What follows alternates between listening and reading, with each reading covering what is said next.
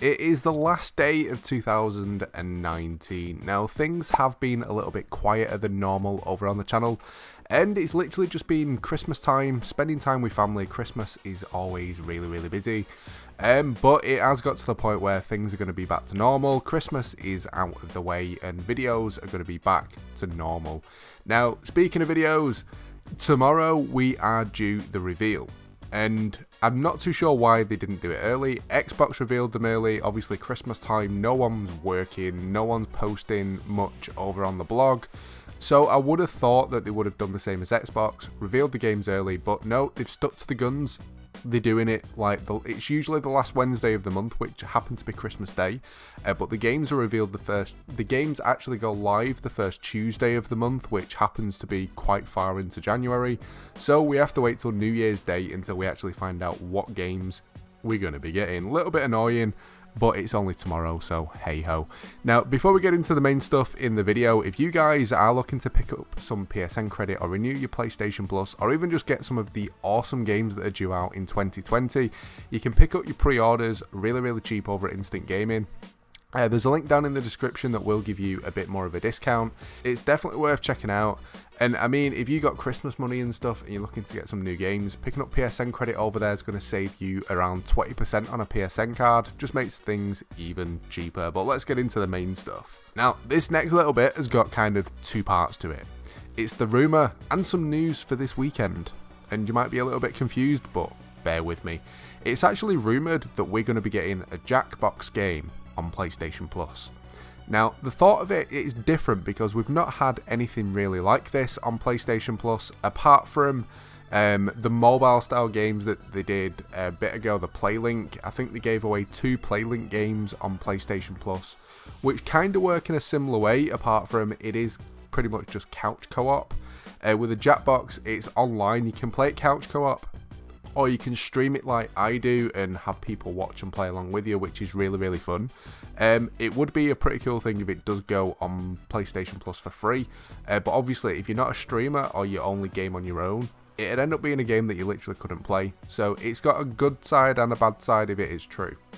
But the second bit about that um, the New Year stream. It's not going to be before New Year. I'm not streaming today. I'm not streaming tomorrow.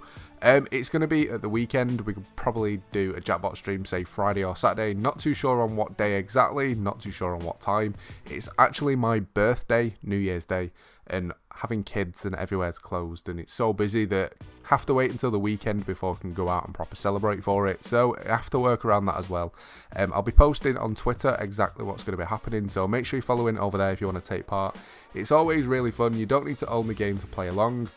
All you need to do is watch the stream and it'll tell you a website to go on and enter a room code and you kind of play along on stream using your phone as a controller. So much fun but we'll be doing that at the weekend. Like I say, I'll be putting it on Twitter. Make sure you follow over there. Um, predictions though, there's two games that I'm going to go for. Uh, two different style of games as well, so I'm curious to see what you guys think. Now, the first one is Crash Team Racing. Now, every time I think of any game like this that's just a cartoon racing game based on other games, um, it always makes me just think of Mario Kart. I mean, they did one for Little Big Planet, they did one for Sonic, um, I think they did one for um, SpongeBob as well, uh, like a Nickelodeon one. Uh, this one's not that much different. Obviously, if you're a Crash Bandicoot fan, you're going to like the game. Um, it's not that much different compared to the other similar styles, to be honest with you. Um, but that's one of the ones that I'm going to go for. And the second one is a game called Terraria. Now, anyone that doesn't know Terraria is just going to look at it and go, it's just a crappy indie title. And I'll be honest, I haven't actually played it, but I do know the game. And I've always kind of thought of it as like a 2D Minecraft. I know it, I know it's not, um, but it's just the only way that I've ever thought to describe it. It's just a sandbox RPG game, um, but it does look pretty cool. And it's another one of them things that you'll probably see the toys out in stores and stuff, and probably look at it and think, what the hell is that? Um, but they're the two games that I'm going to go for with my predictions. Now, just one quick thing before we do finish up. If you guys are looking for people to play with, um, if you're a solo gamer and you're kind of looking to get more social, make sure you join the Discord. There's a link down in the description. You've also probably seen it popping up on screen. If you head on over there and make sure you join, um, you can chat in the friends chat, so it's similar to uh, like a PlayStation party, apart from you don't need to be playing the same game, you don't even need to be playing on the same console, um, and if you're looking for people to play a certain game with, if you ask, anyone that owns it will literally probably add you on PlayStation, get you in a party and play along. Uh, some really cool people over there, so make sure you check that out.